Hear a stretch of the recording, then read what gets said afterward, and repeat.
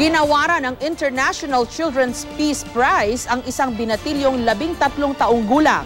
Ang natanggap po niyang award katumbas ng Nobel Peace Prize para sa mga kabataan.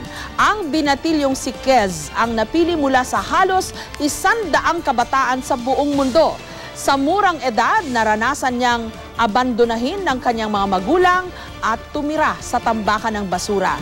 Ito raw ang naging tulay para itatag niya ang Project Cine Chinelas, Laruan at Candy o Project TLC. Sa ngayon, natulungan na ng grupo ang mahigit 10,000 mga kabataan.